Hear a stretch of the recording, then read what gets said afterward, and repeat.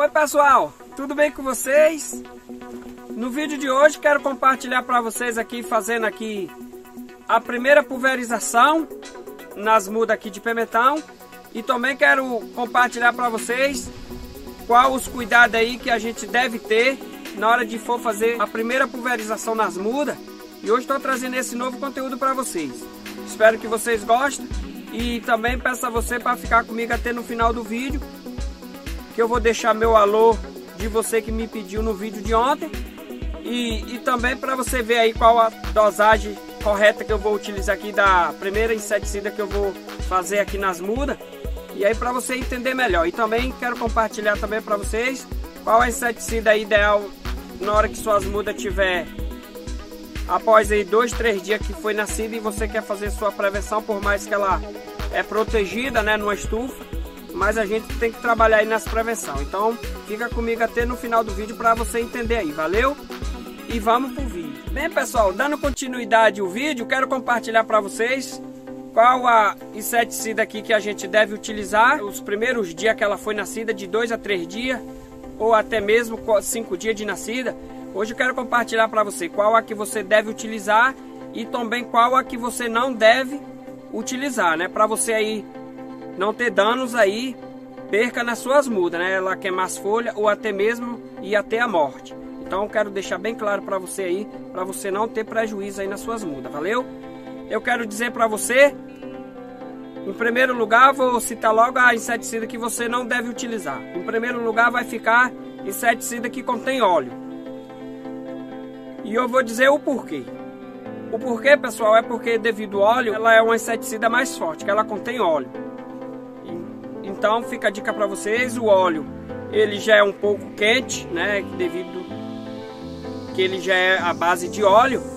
E aí vai fazer o que? Suas são sensíveis, por mais que ela tenha pouco de nascida, lógico que as folhas são bem sensíveis. Aí se você for utilizar um inseticida que contém óleo, pode haver aí um, uma perca, né, umas queimas nas bordas da folha ou até mesmo até a morte. Então não aconselho você utilizar inseticida que contém óleo para você não ter esse prejuízo aí, ó. E outra coisa agora que eu vou dizer para vocês, as que devem utilizar, o vídeo não ficar longo demais eu dizer tantos, aí vai ficar muito longo, né, pessoal? Então, eu quero citar só essa aqui. Em primeiro lugar, eu vou utilizar hoje aqui o Actária, porque o Actária ele não vai conter óleo, né? Ela, ele não tem óleo e aí eu vou fazer a primeira pulverização. Vou também mostrar aqui para vocês quantas gramas eu vou utilizar. Aqui vai gastar aqui, não chega nem 10 litros d'água, mas eu vou utilizar 10 litros d'água e também as gramas, vou compartilhando para vocês, passo a passo, mostrar aí para vocês. Vou botar uma dose mais baixa também, fica a dica para vocês. Em sementeira assim mudas, a gente tem que utilizar umas doses bem baixas para não haver aí algum imprevisto, né? Então fica a dica para você. Bem, pessoal, tá aqui para vocês ver, ó, essa medidinha aqui eu fui pesada na balança. E aí eu fiz, quando chega aqui, ó, esse tanto aqui já é uma grama, tá vendo? O que que eu vou utilizar aqui? Uma grama para 10 litros d'água. Tá vendo? Para vocês verem, ó. Tá um pouco mais fraco, né? Que é, é só muda. Então aqui é o Actara. Aí você vai utilizar aí, se você quiser fazer sua primeira pulverização, eu já vou deixar aqui dentro já vasilhinha, tá vendo? Aqui, ó, aqui a gente sempre eu faço isso, pessoal.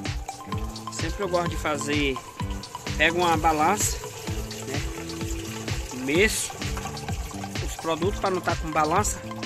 Então aí a gente já deixa tudo a medida. Essa medidinha aí que eu fiz, ela já foi medida e aí o a quantidade, né? Agora cada cada inseticida ou fungicida, né, vamos supor, seus pesos são diferentes, entendeu? Aqui essa medida aqui também já é uma medida que já dá uma grama do hectare. Aí fica a dica para vocês, né? Caso você for utilizar igualmente uma inseticida muspilar, que é em pó também, só que não é WG, é o que? Aí já vai ser a quantidade diferenciada das gramas. Então fica a dica para vocês, sempre você tem que ter uma balança para pesar, né? As minhas aqui não, já é tudo top de linha, já é tudo medida, então já, já tem tudo a base já, né? Ela aqui cheinha aqui, ó, ela dá uma grama, valeu? remédio aí, sempre também outra coisa, você assim que terminou aqui, ó, não tá vendo aqui agora, eu vou pegar, vou dar uma misturada para sempre, como eu falo para vocês, para o a inseticida não ficar embaixo, eu coloquei um pouco d'água para depois eu colocar a inseticida, viu pessoal? Sempre é assim, sempre você adiciona e antes de colocar a inseticida um pouco d'água, aí depois você vem com a inseticida para já conter água embaixo, né, no fundo do pulverizador, para não ficar todo embaixo o veneno. E, e, e, também eu vou fazer a mistura. Assim que jogar aqui, eu vou fazer a mistura.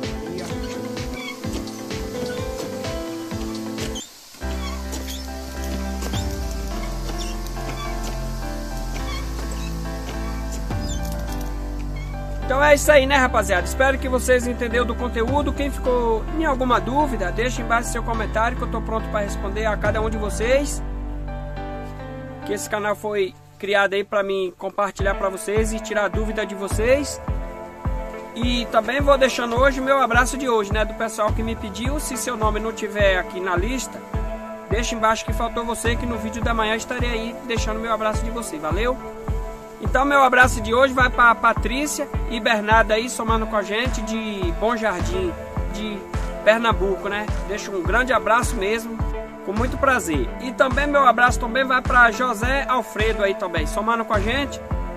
Ele mora em Angola, né? O país dele é Angola. São africano. Deixo meu grande abraço para você aí, Alfredo. Obrigado de estar tá aí gostando dos meus conteúdos aí de Angola, né? Deixo um grande abraço para você e sua família e para todo o pessoal aí do país aí de Angola, né? Deixo um grande abraço daqui do Brasil, né? Tô aí compartilhando para vocês, então tenho um prazer aí de estar tá compartilhando aí, deixando meu grande abraço para vocês aí de Angola, valeu? Deixo um grande abraço para todos vocês aí, produtor também daí de Angola. E obrigado aí a cada um de vocês aí por estar tá gostando dos meus conteúdos. Valeu? E também meu abraço de hoje vai para Fagner, também somando com a gente, sempre está aí deixando seus comentários, gostando dos meus conteúdos. Deixo o meu grande abraço para você, Fagner. Você aí da cidade Quixadá, estado aí do Ceará, deixo meu grande abraço para você e para todos os produtores aí também, né, de Quixadá e também do estado do Ceará, né? Deixo meu grande abraço para todos vocês.